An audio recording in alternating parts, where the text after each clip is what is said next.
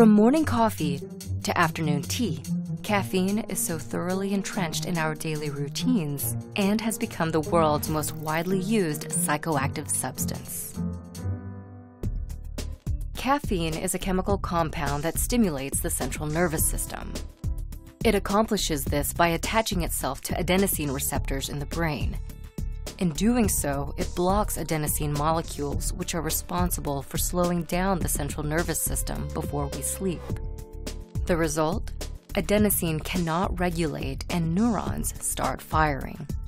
This results in a person's reduced fatigue and increased alertness and cognitive performance side effects many seek by consuming caffeine.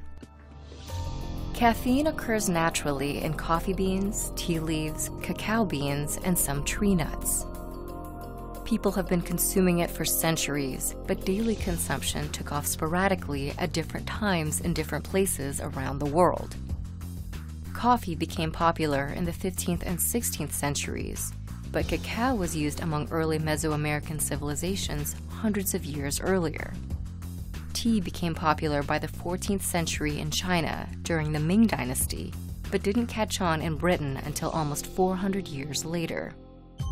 Today, caffeine can be found nearly everywhere, and more and more caffeine infused products are hitting the shelves every day. In the United States, nearly 90% of the population has at least one caffeinated beverage every day.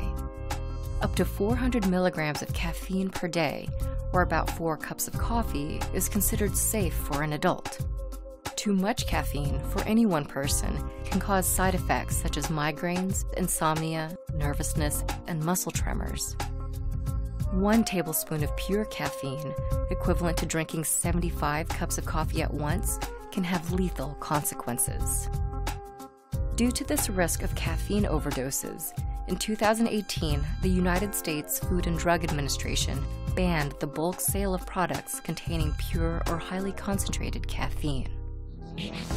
While caffeine may provide great benefits, such as increased focus, alertness, and energy, it comes with considerable risks just like any other substance.